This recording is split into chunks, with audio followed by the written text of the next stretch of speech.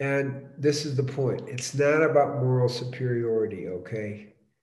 It's just about being responsible for one's actions and eating in a way that elevates you physically, emotionally, mentally, and spiritually. Next slide, please.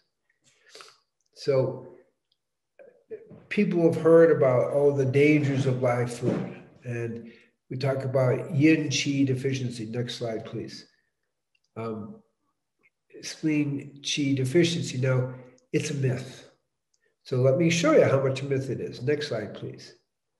So spleen qi deficiency syndrome in Chinese medicine, you're going to have digestive weakness, blood sugar imbalances, weight problems, obesity, alcohol, drug abuse, low vitality, chronic fatigue. Okay, that's classic. Now, next slide, please. Strong spleen qi, good energy, endurance, ability to grow, learn, good memory, emotional balance. That's what you get on a live food vegan diet. It's just the opposite of what people are claiming. Some of the reasons why in the old Chinese medicine, like the 1930s, is that the, the people who were vegan actually didn't have much food choices and options. They were eating white rice.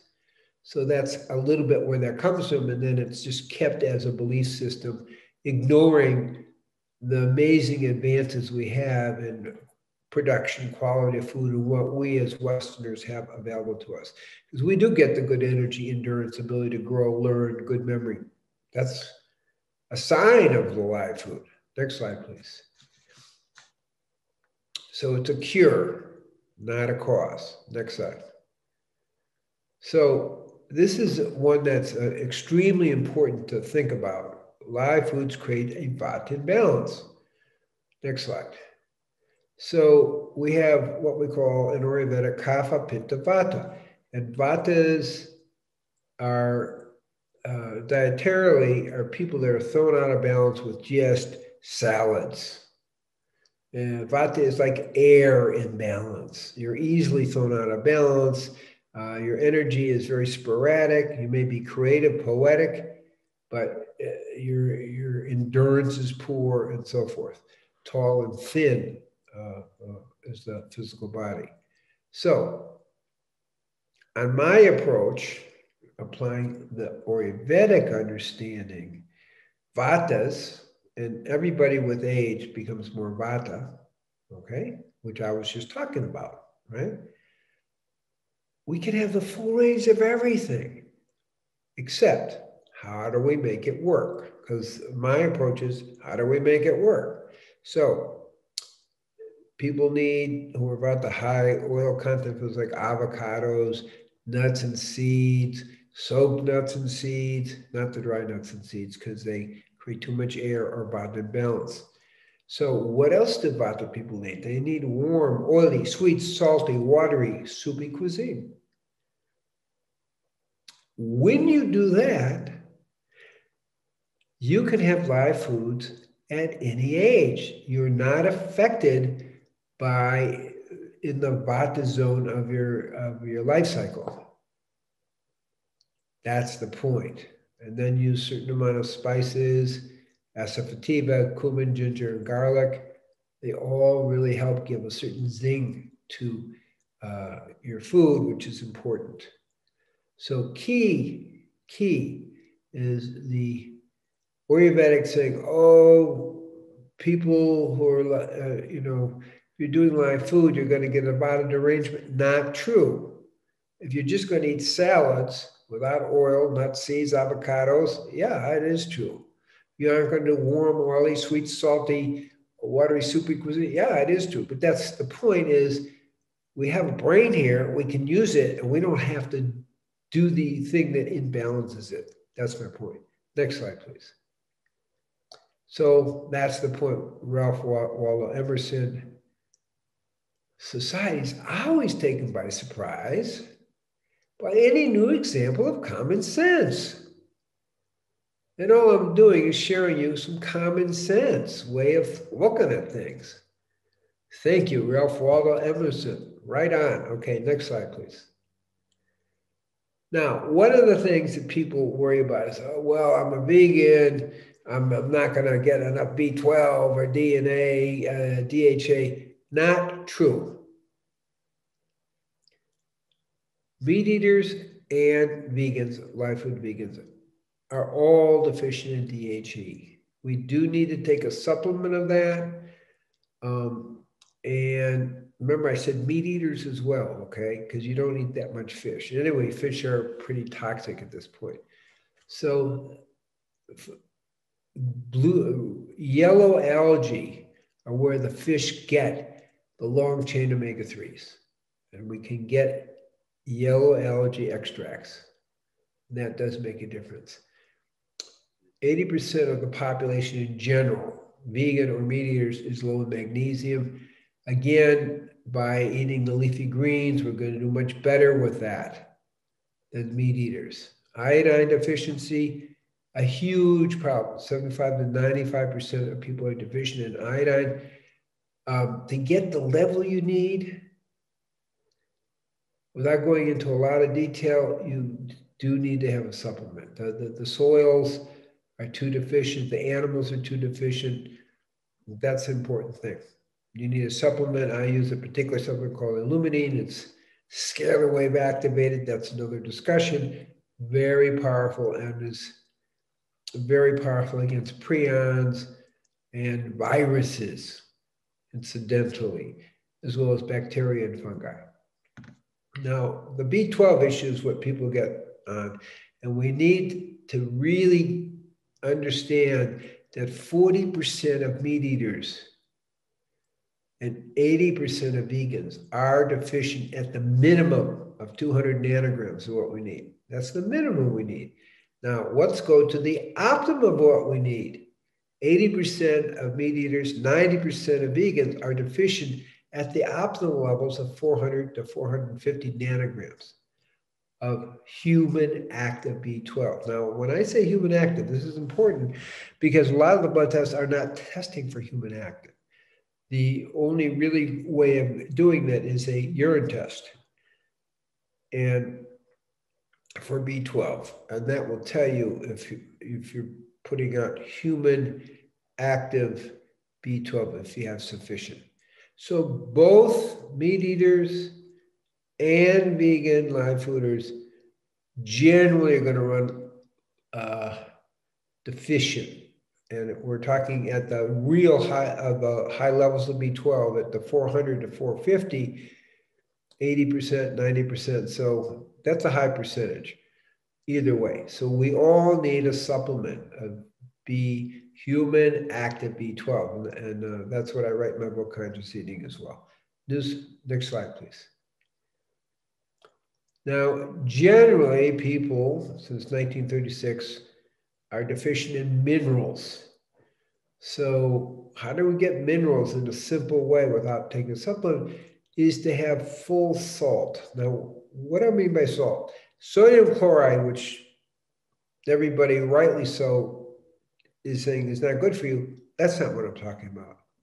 Salt has at least 82 minerals and it's uh, fully activated. Usually, you want it um, mined out of the earth. So it has the earth energies in it. So we need a certain amount of salt. As we know, as we hear with the COVID thing, 85% of Americans are low in vitamin D. That's 30 uh, uh, milligrams, anything less than that. But really, we want to be around 60 to 80. I have generally found, clinically speaking, that most people need a vitamin D supplement. Um, and there are vegan supplements out there, you know, from mushrooms and so forth. Next slide. Vitamin K is another one. Again, the vegans are going to do much better, but vegans and meat eaters are low in vitamin K, also the vitamin A. A lot of people can't convert the beta carotenes, that's the vegan vitamin A, into active vitamin A.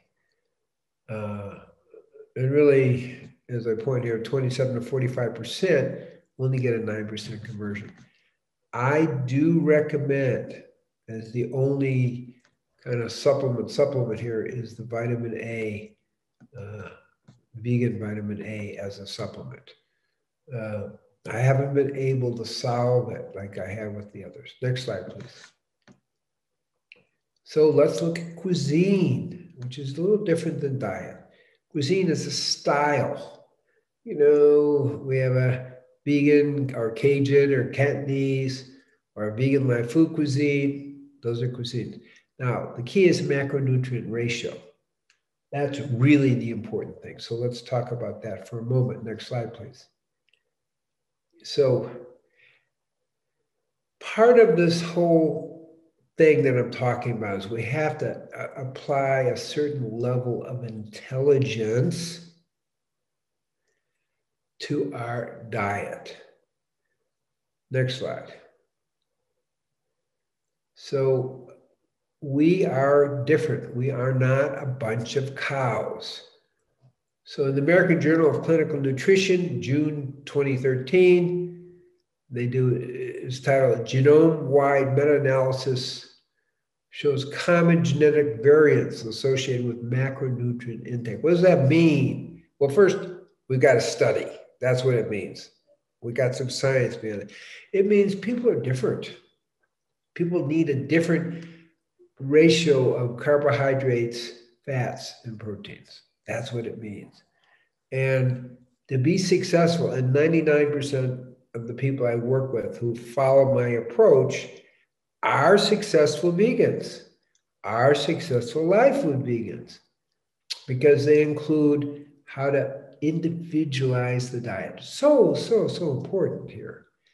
Okay, so what they found is on chromosome 19, there's a locus which tells you how much fat, how much carbohydrate, and how much protein you need. Think about that. So there's not one diet for everybody. And part of the work of being successful with this, which is what we're talking about, we want to be successful, not theoretical, is finding out how much fat, protein, and carbohydrate you need. Next slide, please.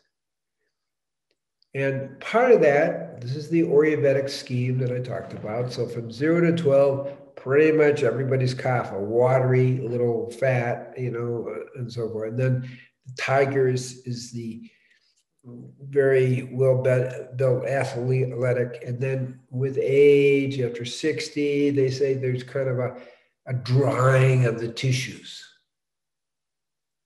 Drying of the tissues well, and the joints don't do so well, drying the tissues.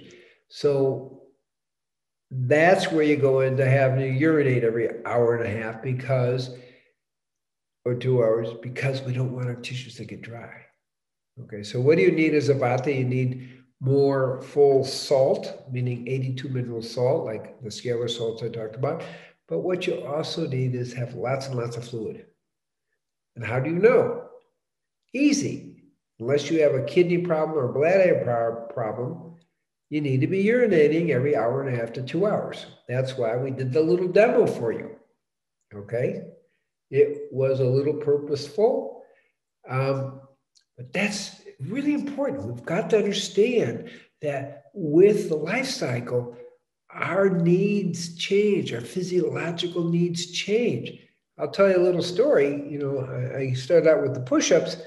Uh, in my 60s, I was stuck. I was just stuck in a certain amount of pull ups, actually.